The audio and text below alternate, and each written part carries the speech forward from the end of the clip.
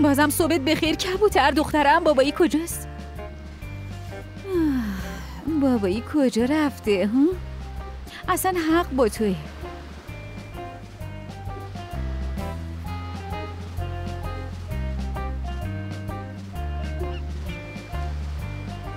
دقیقا حق با توی. بابایی جلو چشممونه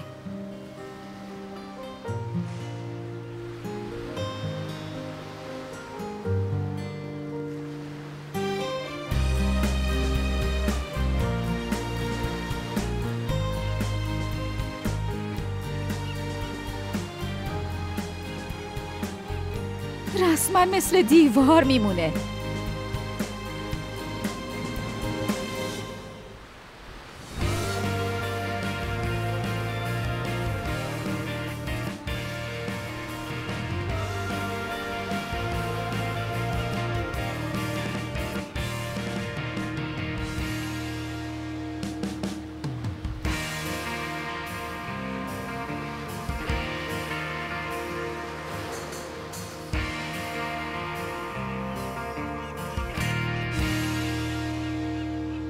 اوه.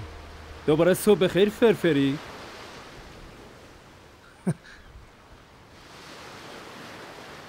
فرفری؟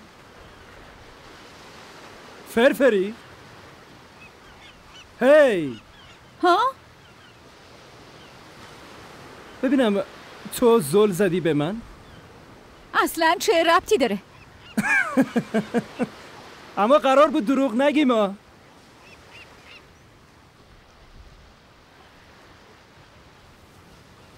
ملکه یه احمق ملکه یه دیوونه چرا مثل گاو بهش داری نگاه می‌کنی؟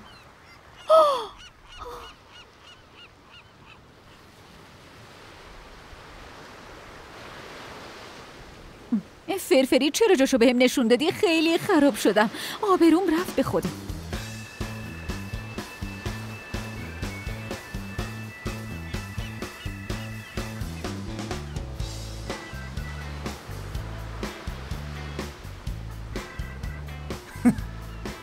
ببینم می‌خوای کل روزا تو ماشین بمونی؟